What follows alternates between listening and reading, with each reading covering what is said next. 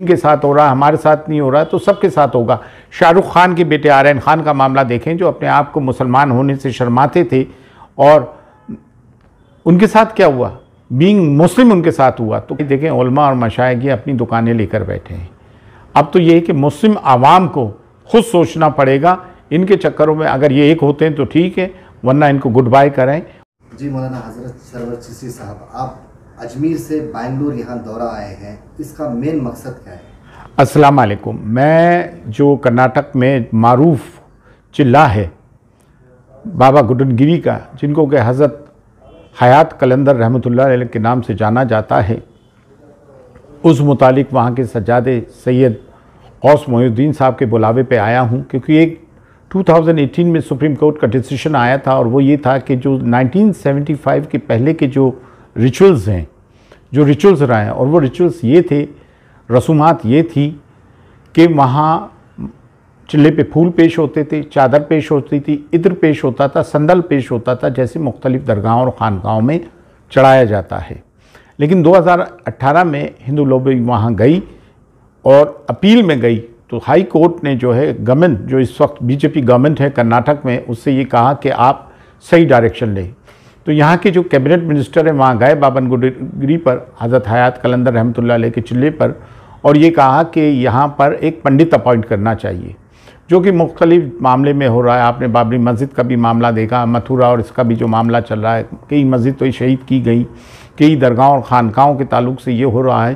تو مجھے یہاں انہوں نے بلایا اس حیثیت سے کہ افغانستان سے لے کر انڈونیشیا تک اگر سب میں بڑی کوئی درگاہ ہے تو حضرت خواجہ الدین چشتی رحمۃ اللہ علیہ کی ہے، جو سلطان الہند نائب النبی عطائے رسول ہیں اور المعروف غریب نواز کے نام سے ہیں اور ہمارے آٹھ سو، ساڑھے آٹھ سو سال کی لیگیسی ہے۔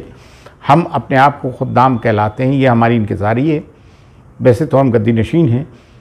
تو مجھے and I am very vocal about all these things تو مجھے بلایا گیا۔ تو ہم پوری طرح سے ان کی حمایت کرتے ہیں۔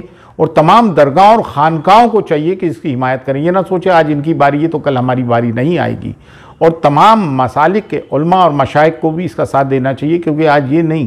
آج دیکھیں، اگر آپ یہ سوچیں گے کہ ان کے ساتھ ہو رہا، ہمارے ساتھ نہیں ہو رہا، تو سب کے ساتھ ہوگا۔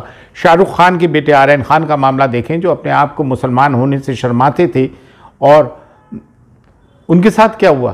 بینگ مسلم ان کے ساتھ ہوا تو کوئی بھی مسلمان کسی بھی پیشے سے تعلق رکھتا ہو کسی بھی مسلک سے تعلق رکھتا ہو تو یہ بات ذہن نشین کر لے کہ باری سب کی آئے گی بینگ مسلم یہ فیسسٹ رجیم بی جے پی رجیم کسی کو نہیں چھوڑے گی اور جس قسم کا ہندوستان ہمارے بھارت میں جو ماحول ہو رہا ہے یہ ایک سوشل فیبرک کو ختم کرنے کی طرف جا رہا ہے اور کر دیا ہے تقریباً اور ہم جس درگاہ سے تعلق رکھتے ہیں وہاں ہر دھرم مذہب و منت کے لوگ آتے ہیں کمنل ہارمنی کو پرویل کرتے ہیں ہم لوگ، کمپوزٹ کلچر اور پولیسٹک سوسائٹی کے نارمز کو ساڑھے آٹھ سو سال سے ایڈریس کر رہے ہیں۔ لیکن سوشل فیبرک کو بچانا ہے تو اس فیسس رجیم کا کس کے مقابلہ کرنا ہے؟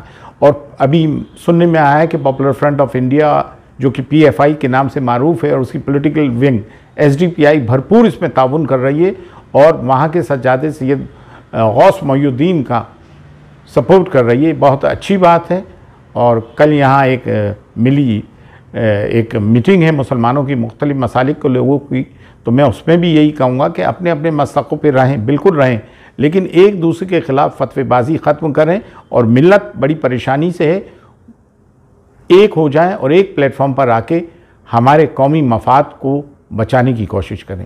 مولانا، آپ بول رہے ہیں ایک پلیٹ فارم پہ آ جائیں۔ کئی سالوں سے یہی بات چل رہی ہے، ایک پلیٹ فارم پہ آ جائیں۔ کوئی ایک پلیٹ فارم پہ نہیں آ رہا ہے۔ اسی کی وجہ ہے کہ درگاہوں پہ، کئی جگہوں پہ ایسے اس کی وجہ یہ ہے کہ بھائی دیکھیں، علماء اور مشائق یہ اپنی دکانیں لے کر بیٹھے ہیں۔ اب تو یہ ہے کہ مسلم عوام کو خود سوچنا پڑے گا۔